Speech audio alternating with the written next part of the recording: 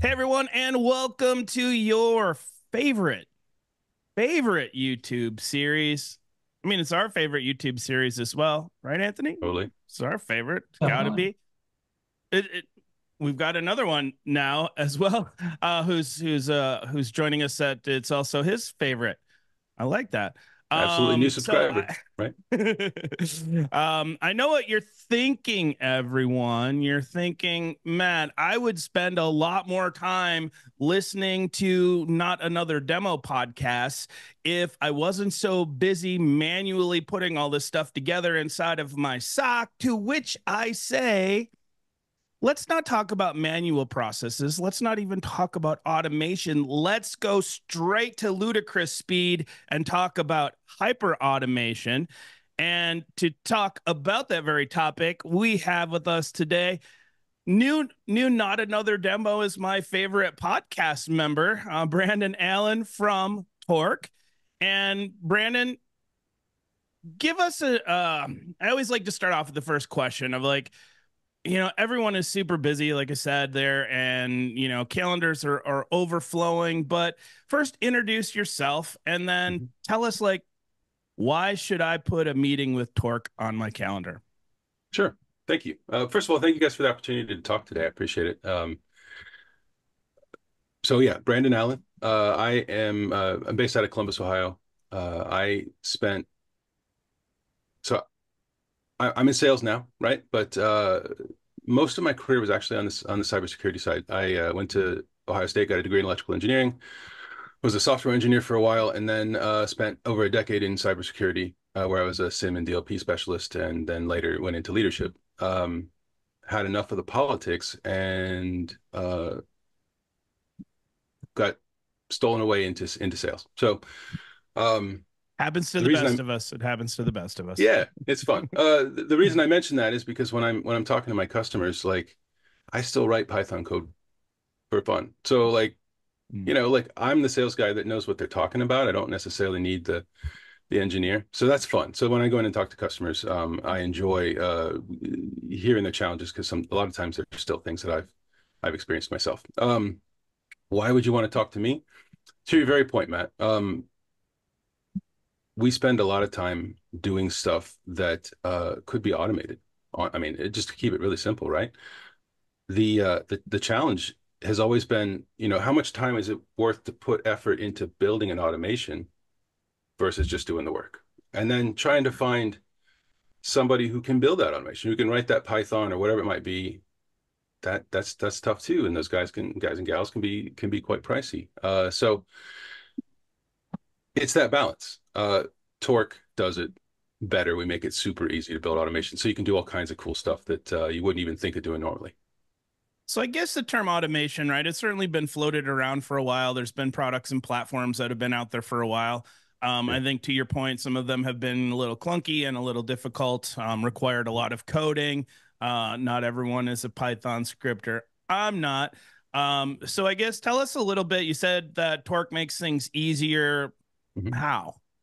Yeah, well, so first of all, um, like we talk to customers all the time who, uh, with their current SOAR technology, um, do I, uh, so like they use SOARs uh, historically have been the the tools that automate incident response, right? Um, and we talk to them all the time about how they have spent the last year or two or however long, uh, writing that Python code and and maintaining those automations and they've hit critical mass where they can't make any more automations because they're maintaining all the code that they they have to maintain right? Um Torq doesn't require code. We are a no code solution.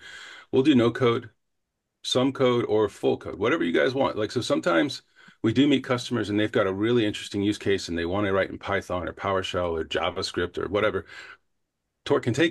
and and and let them use that still. But most of the time, you want to build no code solutions because no code is stuff that we manage, right? It's still code somewhere, but we're going to piece those blocks together really easy.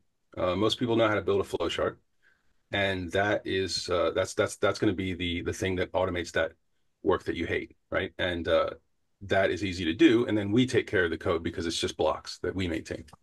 That make sense? So you mentioned, uh, or you, you know, you brought up that SOAR historically has been used for automating incident response and you know running mm-hmm. playbooks and data collection and and things of that nature. Uh, yes, sir. You know, correct me if I'm wrong, but Torq did start that way as well. Um, how can you kind of explain how you got to where it is today and what what's changed or what improvements have been made that allow the platform to go beyond uh, incident response capabilities? So when when you say Torq started that way, I think it's a fair comment. Um, the idea, though, from of Torq from the beginning has been, like Matt said, hyper automation. So that's a term that I see a snicker on on the corner of Anthony's. I don't know, but uh, no, it's a term that that describes. Uh, it's a Gartner term that describes automating business processes, right? So it's not necessarily a um, a security term. Uh, we've adopted it because hyperautomation also implies that you can automate anything. And so we are a security company. We have always been security focused. Our founders, um, they are, uh, you know, they, they started Luminate, which was a, a, zero trust company that got bought by Symantec. Um, we are security 100%. So, of course, we go after the thing that people get, right? SOAR is a, is a nice, juicy target because people have felt that pain. And so when they see what we can do, it's like, oh wow, like you can you can automate and I don't have to write, you know, like they get excited. It's fun, it's fun to watch. For sure. So are you also competing in the space of like, you know, like the the you know, every company calls it different, but like intelligent automation within business processes. So think of like a Kofax or, you know, something in that space where I've got an accounting process, right, that runs, you know, whatever every day um, is that I mean, something we, you're also targeting, or are you, you know, kind of still focused mostly on the security space? We we lead with security. We go in with security. We are a security company, like through and through. Um, but uh, if we're talking about security in that context, they want to do something a little outside the security spectrum, which happens to every team, right? Um, we can go there. It's it's no worries. So let's talk a little bit about maybe for folks that aren't aren't down you know they're still kind of doing the manual path or, or they've they've started and stopped with uh, with a and and SOAR since we have used it a few times um, is a security orchestration automation and response um, I forgot to lay the ground rules at the beginning of our oh. uh, of our no acronym policy. Now we can go back to using the acronym because nobody wants to say those four words over and over and over again. Um, right. But Brandon, tell us a little bit like what are what are the top two or three things like to really get quick bang for your buck if you're making an investment in a platform like Torq? Like what are two two or three things that you typically see a SOC or, or an IT organization or someone doing to to kind of get up and running? Um, that's a great question. Uh, it kind of so when I when I talk to customers uh, and and like maybe we're at like a conference like like CloudCon was was was awesome. Guys thanks for for putting that on. That was a, a great event. Thank you. Thank you. Uh when we were when we were there uh you know I got 30 seconds with these with these customers. Uh, or you know these these people. And uh how do you pitch something in 30 seconds? So what i usually say is like mm-hmm. what sucks? Like what's the worst thing you do in your day? Let's automate that. And they don't usually think about it like that they can do that because automation is hard and it takes programming and it's but it doesn't have to be right? And so that's so so to go back to your question though where do we start? It's usually um it's usually that that high value uh uh that, that high value um process that they they just have never been able to tackle. Um, and now I don't know if your question was more practical, like if you want to talk about implementation, we can talk about that too. But um, I, that that's how I took your your question. Yeah, I mean, I'll open it up to the to the other as well, like shutting off user accounts if something's happening, or like what's a what's a specific use case that you guys see that makes a big difference for a company yeah, uh, one of the ones that we see all the time is phishing, right? Like, uh, how do you deal with phishing? Um, a lot of times it's still a manual process. Like, I, I used to have a manual phishing process 10 years ago when I was doing it, and it's still there and it hasn't changed. It's still like the same. Somebody clicks a button in Outlook and it ends up in a folder, and then someone has to look at it, and it sucks. Like, like I said, let's let's do something. What, what's the thing that sucks? Let's get rid of it. Um, so I see phishing a lot. Uh, something that's fun uh, that uh, I'll admit I don't see it as often, but I think it's it's it's it's one of those things we need to work on is uh, just-in-time access, right? So there are identity and access management platforms that do this stuff, but it's so easy with Torq. You can just go in and build a workflow. So, like for me, when my laptop, uh, like when I want to install something uh, that requires administrative privileges, I can go into Slack and ask Torq, like the Torq bot. I can ask Torq for uh, escalated privileges, and it runs the Torq workflow, and then boom, my laptop's good. And that's the kind of speed and efficiency that uh, you don't normally expect, right? And and maybe you wouldn't even tackle because it's too big of a lift. But when it's easy to do, you start to think about all kinds of the cool stuff that you you, you could be doing. So integration with Slack, I like that. TorqBot, mm-hmm. that's good. Um, I guess let's talk then um, other types of integrations that you might have. Um, things like ServiceNow or other ticketing systems, um, SIEMs and other I give the acronym for SIEM in the last episode. I'm not doing it again. Uh because I always forget what it means. It's a terrible word. Um yeah. uh, talk about some of the other technology uh um connectors and things that you guys have. Yeah, so that that's a that's a great question too. Thank you. Um so if you think about um the challenges of of automation, uh, one of the biggest challenges is getting the data in in the first place. And a lot of uh security event platforms, staying away from the acronym there for you. uh, a lot of the security event platforms, they they um they'll they'll they'll rely on maybe maybe API or webhook or um, Torq tries to make it as easy as possible to get that data in. So webhooks, APIs, uh, we can even SSH into boxes if we have to, right? So not every not every system has an API that you can you can use. Um, I think I heard someone say Telnet once, like we could do that too. That's crazy, mm. but okay. Um, uh, and then the next the next step is uh, traditionally with automation platforms, you have to if you have a custom connector, so something that's not on their list of approved whatever, you have to go and write code to make that work. Uh, with Torq, we have uh, a um, it's almost like Postman. Do you guys know Postman? Yeah. It's like a yeah, right. Uh, it's a like an API for for those who are listening and may not know. It's a it's a an API framework that you can put in a, into a GUI. Um, oh, graphical user interface. Sorry. So, uh, so uh, yeah, so so with Postman, like that that style of of opinionated interface where we hide the details that are typically unimportant. We let you put in just the, the stuff that's so you can set that integration really simply. Uh, so a lot of times, and and and it's it sounds like marketing, and it, it kind of is, but um, we have you know tons of integrations and we can build them very quickly but we like to sometimes say playfully uh, that we have infinite integrations because you can build them in you know minutes to hours instead of days or weeks so where do you typically see the the workload of this sitting? I know you said you're a security company, but I certainly could see, you know, other areas of the IT team and other things that would could could use this platform. Um, mm-hmm but the actual like configuring of the automations and whatever all over the place? What is the typical types of folks that you guys are working with?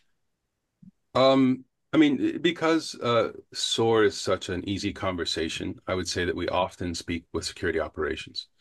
Uh just just you know by default. Um but uh i see more and more conversations with grc right? We're great for control tests that kind of stuff uh, something that they wouldn't have automated before because it was just too much of a lift, right? Let's let's go ahead and set that up now. Um, identity access management is another one that we see quite a bit. Um, so lots of teams where there's lots of manual work that you just let's just get it done, right? Let's automate it. Um, uh, oh, there was another component to your question. I I, I lost it. Apologies. I, I lost it as well. So apparently the other part of my question wasn't very good. Um, no, I think that's that's um, I mean it's important to to see like you know where these conversations tend to sit inside uh, an organization right? Um, mm-hmm. so i guess talk a little bit about you know because I, I feel like you know going down the automation path is not like i'm going to buy a product i put it in and then it does its thing. There's you know ongoing new different changed automations that we're doing. Talk a little bit to us about being a customer of Torq let's start with the pre-sales process i guess talk us through what that pre-sales process looks like a little bit in terms of like POV and and all of that sort of thing. Sure. Um, I would say, in my experience, it's it's pretty traditional, right? We'll we'll make sure that the customer has all of their questions answered about the the product itself. Uh, so demos and, and and whatever, however many meetings and demos we need to to to show it to the team. Uh, once that's done, uh, and I'm, I'm skipping all the like you know the NDA legal stuff, but like once yeah. once that's done, we go into uh, you know a proof of concept. We we love to do proof of concept because we want customers to really see it, to really understand it, uh, especially if they're putting us up against you know someone else in the industry.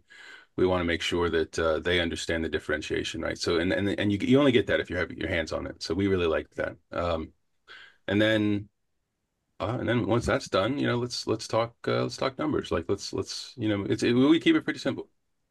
And then moving forward, so we get through that process, we prove everything mm-hmm. out, we go through the acquisition. I like how you said let's leave those legal portions out because we don't want to talk about those things.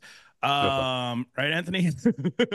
um, where deals go to die. Um, mm-hmm. but talk a little bit about what it's like working with Torq post sales because a lot of times you know you can roll out the red carpet before you make the acquisition but like okay mm-hmm. now we've we've we've paid for the platform. We want to start using it, but we don't know what we're doing. We need some help.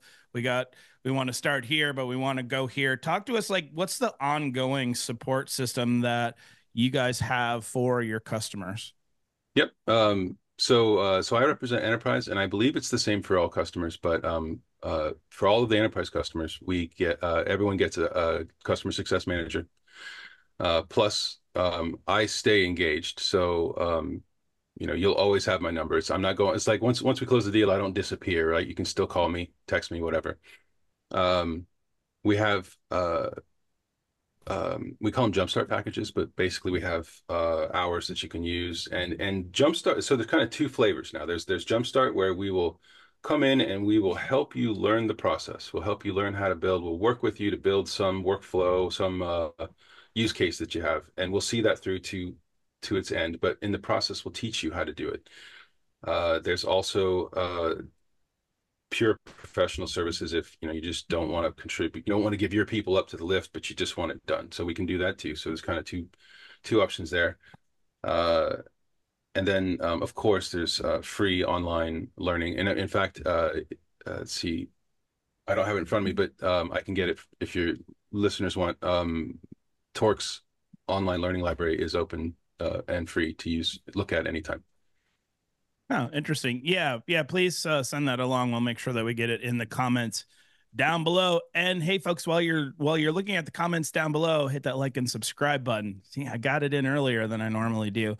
Um, so, um, I guess you know, again, in a in a space that's you know, there's there's some other players in that space or whatever. If you were mm-hmm. to give us like two or three, a couple of things that like you feel really sets Torq apart from your competition.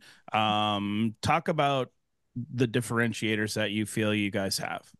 I love it. Thank you. Um, one I would say is our uh, our SaaS platform. So uh, software as a service platform. So uh, so our cloud platform uh, is entirely uh, um, container. It's microservice based architecture, right? Um, so the way that the architecture scales is, you know, it scales as much as the cloud is is can scale. Uh, so that part is great because then the um, the on premises architecture is is very sim- simple, right? You you you if you have a Docker environment, you you pull down our step runner and uh, the implementation is is is now good on prem. That's it. Like you don't have to do a whole lot. Um, uh, I I need to take more ADHD meds, Matt. I I lost the point to this. Help me. Um, you and me both, man. I'm sorry, um, but uh, just some of the stuff that like sets you guys apart. That's certainly that's, that's what it was. Um, sorry. Yeah, I mean, I like the fact that you've got that that SaaS platform, easy to,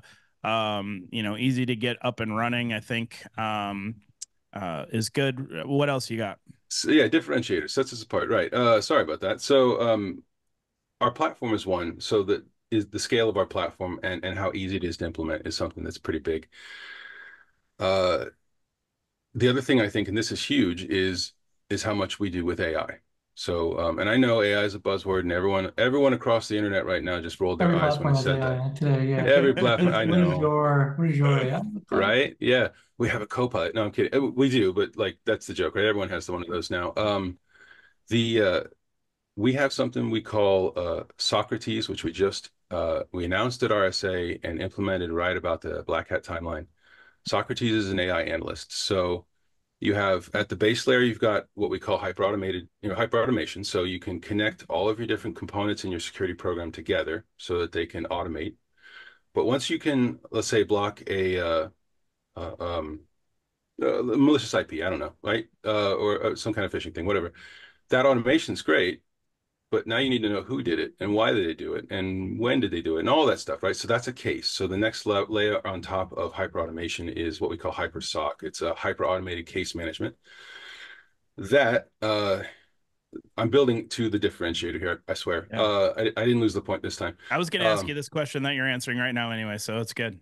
Love it. Yeah. So, uh, so Torq has taken case management and we've hyper automated every element of it. So if anything changes in the case, any state change, any note, comment, whatever, you can kick off a Torq workflow and and you know do whatever you need to do, right? Whatever the automated thing makes sense for that process. This is where we come into the differentiation. This is where you step to front of our leadership, and that is our AI analyst. So um, we call it Socrates, right? Little play on words. We like that.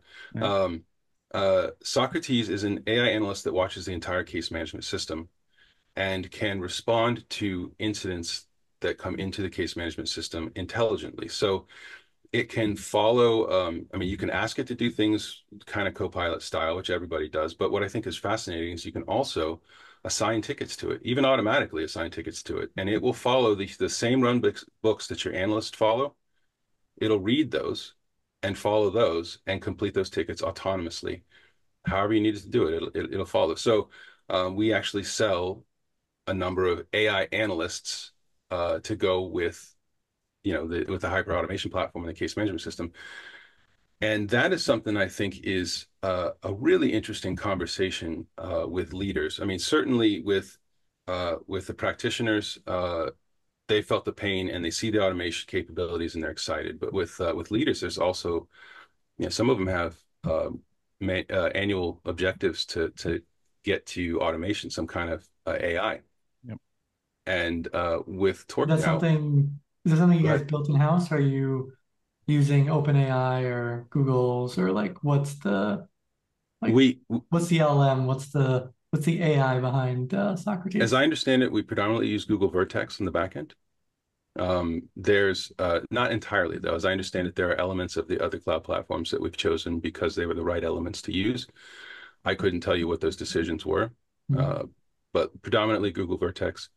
And then, uh, oh, where's it? What else was that about that? Um, yeah, that's that's the answer basically. No, we did, but everything was in-house. So we do have a chief AI officer and, and our engineers, you know, put it all together ourselves. It wasn't something we purchased or anything like that.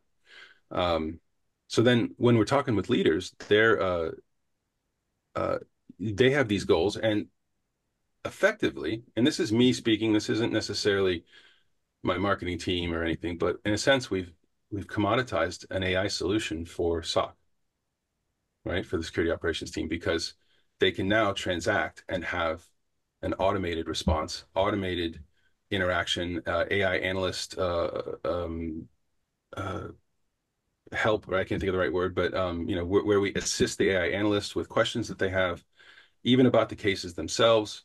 Uh, we do data enrichment. We do summarization of the cases. So instead of wasting 10 minutes trying to read all the different indicators of compromise and problems, notes, we do it all for you. Just put it right there at the top. Uh, it saves you so much time. Um, if you can't think of how to build a workflow, you can type in English what you want, and it will build the workflow for you using AI.